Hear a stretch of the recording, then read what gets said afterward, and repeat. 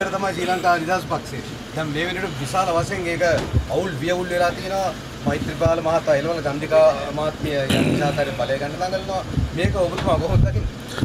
මහගෙදර සීය පිස්සු කෙලිනවා වගේ තමයි පේන්නේ. ඒකයි වැඩේ. ඉතින් මොනව කරන්නද? සීය අච්චිත් එහෙමයි සීයත් එහෙමයි. පිස්සු කෙලිනවා වගේ පේන්නේ. ඉතින් මහගෙදර ප්‍රශ්න.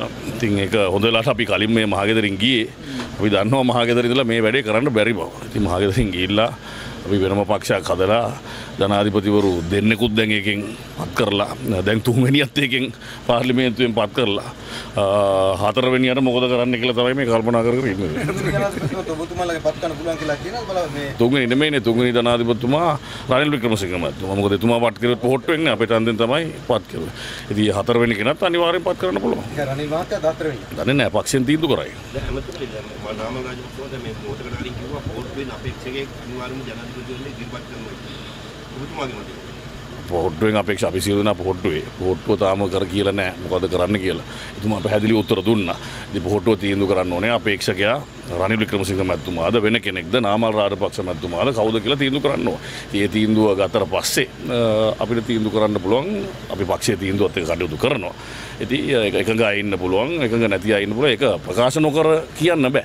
ඉස්සෙල්ලා ඒක ප්‍රකාශ කරන්න තීන්දුව ගන්න ඕනේ. ඒ වගේම ආයෝජන ප්‍රයෝජන රාජ්‍ය අමාත්‍යවරු ඉවරය විදිහට ඔක්කොම දැනගෙන ඉන්න දැන් ඔබතුමාලා ජනාධිපතිතුමත් කියන ආයෝජන එනවයි එනවයි කියලා. විධිමත් විදිහට ජනතාව දැනෙන්න ආයෝජන තව ලංකාවේ පටන් ගත්තා කියලා. මේ පිළිබඳව ඔබතුමාගේ අදහස? බොහොම පැහැදිලිව අ, ආයෝජන එනවා. අපි IMF ගිවිසුමට ඇතුළත් වුණාට පසුව අ, ගිය අවුරුද්දේ අගභාගේ ගිය අවුරුද්දේ ඔබතුමා දන්න මුල භාගයේ සහ මුලින්ම කපලා දාන්න සිද්ධ වුණා අරගලේ සහ ඇතිවෙච්ච අර්බුද නිසා දෙවනි භාගේ අපිට ඩොලර් බිලියන එකයි දශම අටක. අප ඉලක්කෙ තිබුණේ ඩොලර් බිලියනයයි අ, සාමාන්‍ය තත්ත්වයන් යටතේ. මුත් අර්බුදකාරී තත්ත්වයන් යටතේ ඩොලර් බිලියන එකයි දශම අටක් අ, අපිට ලැබුණා. මේ මේ වසරේ අපි ඩොලර් බිලියන හතරක් හෝ හතර හමාරක් දක්වා යන්න සිරු සැලසුම් සකස් කරලා මේ වෙනකොට කටයුතු කෙරීගෙන යනවා. අ, රූපවාහිනී වැඩසටහන් වල අපි ඉදිරිපත් කළ තියෙනවා මොනවද ඒ ආයෝජන කියන කාරණේ. ආයෝජන තත්ත්වයේ තිබුණට වැඩිය හොඳ අතට හැරමින් පවතිනවා. දැන් ජනතා විමුක්ති පෙරමුණයි. සමගි ජන බලවේගයයි යම් කිසාක වාදයක් දැන් දෙන්න වෙන්න හදනවා. ඒ ගැන මොකද හිතන්නේ මේ විවාදය ගැන හැමදාම පස්සට යනවා. ඔව් ඉතින් ඒක ඒ දෙගොල්ල කරන්න ඕනේ. විවාදයක් නේ දෙගොල්ල ඒක කරන්නේ නැහැ. ඉතින් මං හිතන්නේ අපෙත් කීප දෙනෙක් අම්ම කුමාර මැතිතුමාට වෙලාවක ආරාධනා කරුවා. අපි දැක්ක දිලිත් ජයවීර මහත්තයා ආරාධනා කරුවා. ඉතින් ඒකකටවත් යන්නේ නැහැ. ඉතින් යන්නේ නැත්තේ ඔය අපි දකිනවා පිටරට ගියාමත් අ, සමහරක් අයට විවාද නෙමෙයි නමුත් අ, සභාවේ ඉන්න අය ප්‍රශ්න අහනකොට ඒ ප්‍රශ්න වලටත් සමහරක් ඒවාට සාධාරණ පිළිතුරු දෙන්න බෑ. විශේෂයෙන් ආර්ථික වැඩපිළිවෙල මොකක්ද කියලා අහපුවම පිළිතුරක් නැහැ. ඉතින් පිළිතුරක් නැහැ කියන්නේ ආර්ථික වැඩපිළිවෙලක් නැහැ. ඉතින් ආර්ථික වැඩපිළිවෙලක් නැති කෙනෙක් අ, පත් වුණොත් අ, ඇතිවන ප්‍රශ්න ඔබතුමාලට අලුතෙන් කියන්න ඕනේ නැහැ. ඒකේ අත්දැකීම අපිට එක්සත්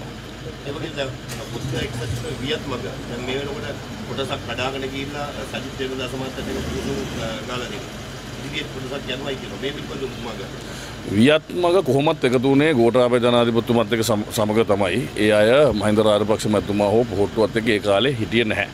වියත් මග හැටියට වෙනම විද්වතුන් පිරිසක් ඒ වෙලාවේ එක රාශි වුණා. ගෝඨාභය රාජපක්ෂ මැතිතුමා ජයග්‍රහණය කරවන්න. පසුව කොටසකට නාම යෝජනා ලැබිලා ඒ අය තරග කෙරුවා. ඉතින් එයාට පක්ෂයක විනය පිළිබඳව, පක්ෂයේ කටයුතු කරන ආකාරය පිළිබඳව දැනීමක්, හැඟීමක් මොකක්වත් එකක් නැහැ. ඒ අය එක මැතිවරණ ව්‍යාපාරයක් සඳහා හදාගත්ත ව්‍යාපාරයක්. හැබැයි ඒකෙන් ආපු අපිත් එක්ක අදටත් රැඳිලා ඉන්න අපේ සීතාරම්භ පොළ අ, මැතිනිය වගේ අය විශාල පිරිසක් අ, ඉන්නවා නෑ කියන්නත් බෑ. නමුත් අ, වියත් මග අ, කියන්නේ ගෝඨාභය රාජපක්ෂ මැතිතුමාගේ සහායට හදපු කණ්ඩායමක්.